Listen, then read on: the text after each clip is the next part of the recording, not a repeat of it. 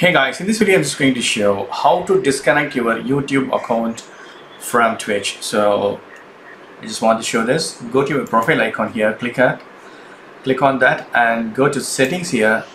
Under settings right, you can see the lot of options and click on connections.